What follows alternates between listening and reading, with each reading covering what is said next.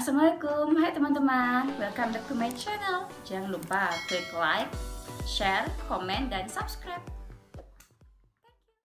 Hai hai semuanya, hari ini kembali aku mau masak dua menu. Yang simple yaitu satu kerang tahu saus tiram, yang kedua untuk untuk sayurnya tumis bayam tauge. Ini kerangnya aku bersihkan terlebih dahulu teman-teman, setelah itu direbus sebentar, buang airnya. Untuk tahunya nanti dipotong-potong ya. Ini untuk bumbunya ada bawang putih, bawang merah, bawang bombay, cabe sama cabe besar. Sausnya pakai saus tiram, saus biasa, saus tomat, terus kecap, lada bubuk. Lanjut lagi yang terakhir ini bahannya toge. Ada gula, garam, dan minyak sedikit ya teman-teman atau mentega. Lanjut kita masak. Pertama aku mau buat kerangnya. Jadi ini tahunya yang tadi kita potong-potong, goreng sebentar setengah matang. Setelah itu sisihkan kita masukkan bumbu-bumbu yang sudah iris dan aku sisakan hanya dua siung bawang putih yang dipakai nanti untuk numis bayam sama togenya. Oke kita aduk-aduk dulu ya. Ini tahu sama bumbunya sudah aku tumis ini. Kita tunggu sampai harum dan layu. Setelah itu baru kita masukkan kerang yang sudah dibersihkan dan kita kasih sedikit air. Ini saya masukkan sudah tomat saus tomatnya dilanjutkan sama kecap secukupnya. Dan saus tiram saya ambil satu sendok makan ya teman-teman. Sesuai selera dari teman-teman sih.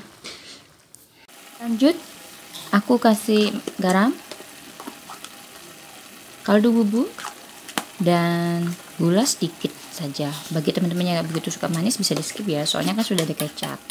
Kita tunggu sampai matang dan airnya masuk nyusut ya teman-teman ini sudah menyusut dan sudah merasuk bumbunya. Dan saya tes rasa pun juga sudah pas. Kita angkat kita tieskan lalu kita masak sayurnya. Ini untuk tumis bayamnya kita panaskan minyak atau margarin ya. Setelah itu kita geprek bawang putih 2 siung ataupun dicincang pun nggak apa-apa seperti saya seperti ini. Kita kita tumis sampai harum baru setelah itu kita masukkan air. Kita tunggu sampai mendidih nah ini sudah mendidih teman-teman. Lanjut kita masukkan bayam yang sudah dibersihkan. Jadi jangan lupa dibersihkan dulu ya itu bayam-bayamnya ya biar higienis. Ini kita masukkan semuanya. Terus kita aduk-aduk dulu. Lanjut saya masukkan garam kaldu bubuk sedikit saja. Dan saya kasih gula sedikit saja lalu kita tunggu sampai setengah matang ya teman-teman. Nanti kita lanjut masukkan togenya